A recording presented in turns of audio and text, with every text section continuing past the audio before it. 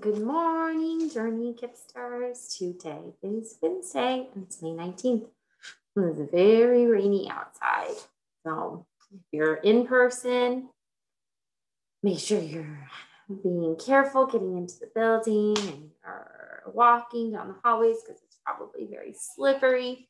And if you are at home, I know the rain makes us a little bit sleepy, but make sure you get up and you log into your virtual classrooms and that you stretch it out and get all the energy that you need to pay attention to your lessons virtually all day long.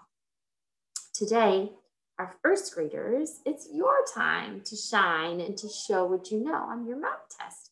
Our kindergartners have done an amazing job of showing what they know, especially in their math, map test yesterday, and I'm so proud of them. So it's your turn, first graders, to show what you know and to use all of your test taking strategies that we talked about on Friday at our pep rally. Take your time, focus on your screen, make sure you listen to the teacher's directions, and work out any problems that you need to work out on scratch paper. Remember, we are giving a prize for the person who takes their time on each grade level because we know that when you take your time and you read the questions three times or four times, that you actually will understand your test best. Okay. So we know that going slow is a good thing.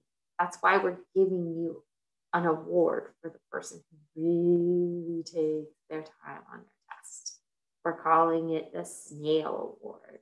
You want to be a testing snail snail moves very slowly and very purposefully and reads every question three times. Okay?